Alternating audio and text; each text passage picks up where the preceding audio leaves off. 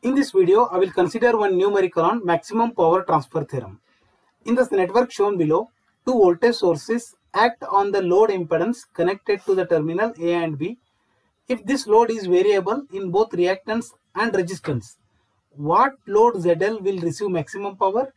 What is the value of maximum power? This is the given circuit. So here the two sources, one is 50 volt voltage source, another one is 25 angle 90 voltage source are acting on ZL. We supposed to calculate the value of ZL so that it will receive the maximum power. Also we have to find the value of maximum power. So here we supposed to apply maximum power transfer theorem. So in maximum power transfer theorem, to the first step is we have to remove this load impedance from the circuit. So first remove this load impedance from the circuit so that the terminal A and B will become open and find current in the circuit. So let me remove this ZL from the circuit. So the circuit looks like this. There was a ZL that I have removed. Now we can find there is only one loop. First I will find the current in the circuit. Let me find current in the circuit by applying KVL to this loop. So I will assume current I is flowing in the circuit. Apply KVL to this loop that is apply KVL so that I will start from here. That is 50 angle 0 is equal to and we can see that 5 J5 3 ohm minus J4 all are in series. 5 plus 3 8 then J4 minus J, J J5 minus J4 is J1 so I can write 8 plus J1 into I. That is voltage across that is the total impedance into I. And here we have so this arrow indicates the direction of flow of current or polarity. So here this polarity is positive this polarity is negative. So we can write it as plus 25 at an angle 90 degree. So with the help of this equation find I. So therefore I can write I can simplify this as 50 minus 25 angle 90 is equal to we have 8 plus j1 i. So therefore i can write i is equal to 50 minus 25 at an angle 90 degree divided by we have 8 plus j1 so directly feed these values in the calculator so that we'll get the result. So the result is 5.769 and we have minus j 3.846 amps.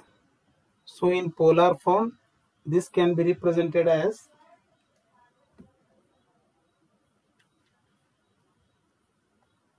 Six point nine three is the magnitude and the angle is minus 33.69 degree amps. So now to find the maximum power in the load, we have to bring this network equivalent to Thevenin's network. So in Thevenin's network, we know that we need VTH and RTH. VTH is the voltage between the open terminal A and B and RTH is the equivalent resistance between terminal A and B. So first let me calculate VTH. So VTH is nothing but the voltage between terminal A and B. So let me find VTH that is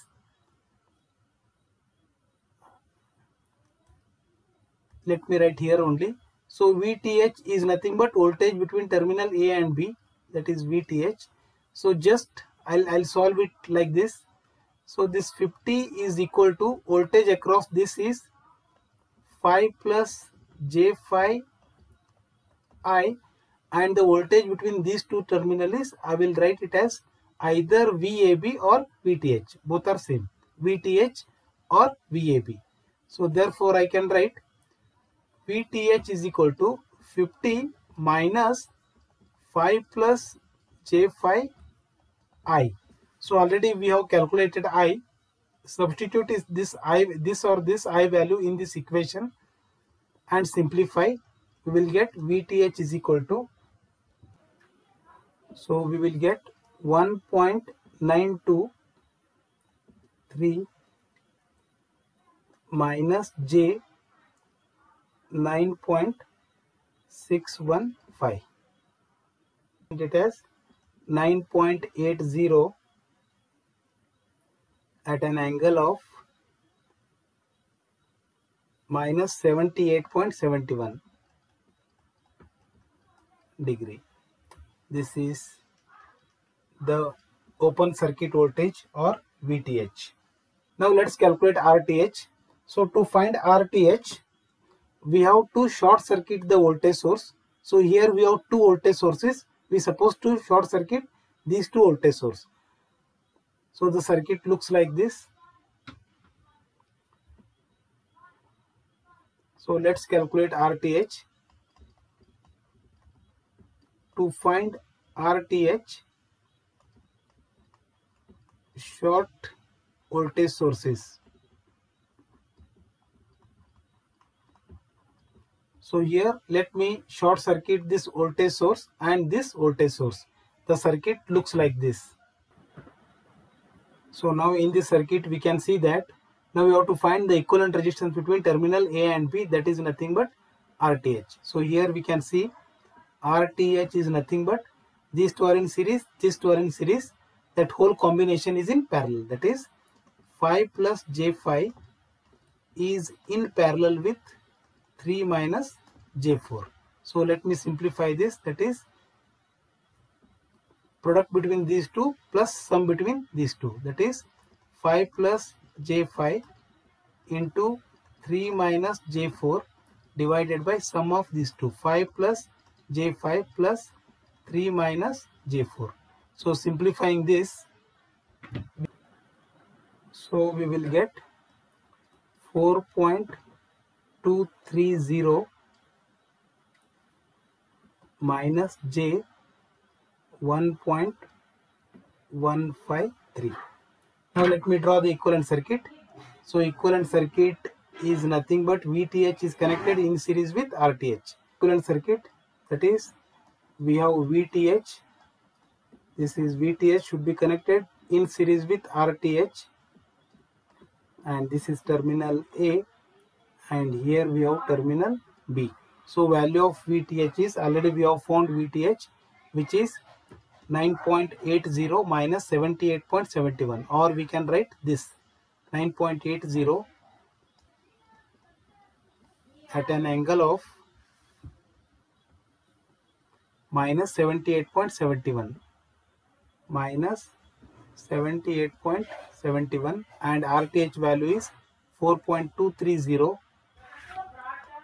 4.230 minus J we have 1.153 1.153 so here we have ZL so the ZL will receive the maximum power when ZL value is complex conjugate of RTH that is to receive ZL as a maximum power, ZL must be equal to RTH star that is complex conjugate of RTH. Therefore, ZL must be equal to 4.230 plus J complex conjugate means minus J should be replaced by plus J 1.153.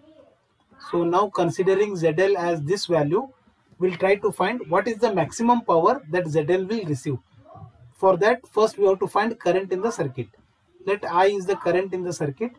So here I can write I is equal to V by R. So V is 9.80 at an angle minus 78.71 divided by these two RTH plus ZL. So it is 4.230 plus 4.230. This and this will get cancelled.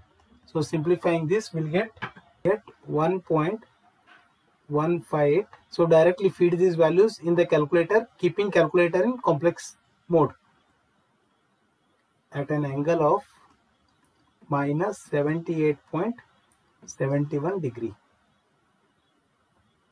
so this is the amps now we'll see the maximum power that is maximum power I can write P max is equal to I square into ZL i square into ZL. So here we have to consider only magnitude. So magnitude is 1.158 square into we have to consider only the register value that is 4.230 4.230 so simplifying this we will get 5.67 watts